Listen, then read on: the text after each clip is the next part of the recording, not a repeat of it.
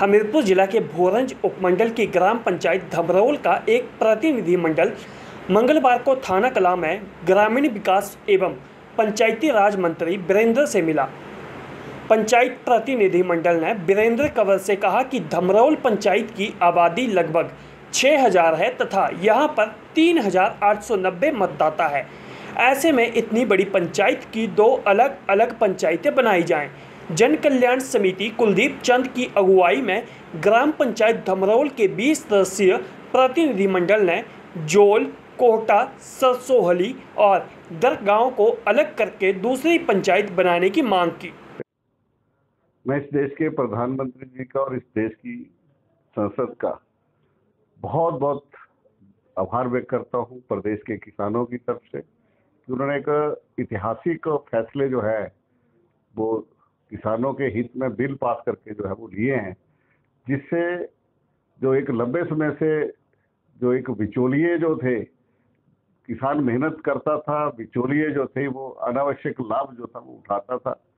जितना लाभ बिचौलियों को होता था, उतना जो है वो किसानों को कम पैसा जो था वो किसानों की जेब में जाता था, और जिसके कारण इस देश का किसान जो था वो लगातार आत्महत्या की कगार पर जो था वो पहुँच गया था।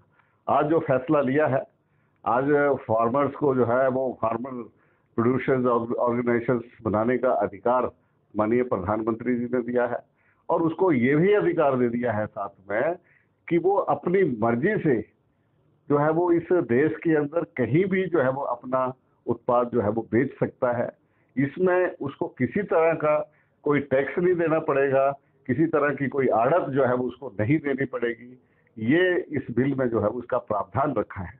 और इससे भी आगे बढ़कर के कहा है कि जहाँ ये पैसा, जहाँ ये अपना प्रोडक्ट भेजेंगे, जो इसको खरीदेगा, उसको तीन दिन के अंदर अंदर जो है वो किसान को उसकी पेमेंट जो है वो करनी पड़ेगी।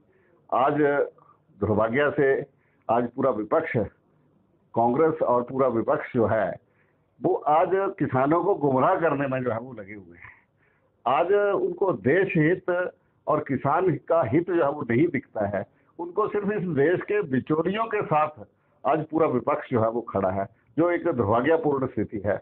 माननीय प्रधानमंत्री जी ने ये देश को आश्वासन दिया है, किसानों को आश्वासन दिया है कि जो उनको एमएसपी मिलता है, वो जारी रहेगा। और रबी फ़सल के ऊपर जो एमएसपी देना है सरकार ने उसने सब्जियों के ऊपर, गेहूँ के ऊपर जो है वो भी जो है वो उसको जारी कर दिया है कि यहाँ तक जो है वो हम इसको खरीदेंगे, उन्होंने साथ में ये भी कहा है कि एपीएमसी अपना काम करेगी और किसान चाहे तो एपीएमसी में अपना जो है वो प्रोडक्ट बेचे। अगर उसको लगता है कि उसको ज़्यादा मूल्य जो है वो कहीं और मिल रहा है तो किसान जो है वो वहाँ पर उसको बेच सके। ये जो विरोध है, ये अनावश्यक है। हिमाचल प्रदेश की सरकार, हिमाचल प्रदेश का किसान पूरी तरह से नरेंद्र मोदी जी और केंद्र सरकार के साथ खड़ा है। ऊना से आपका फैसला टीवी के लिए जीवन शर्मा की रिपोर्ट।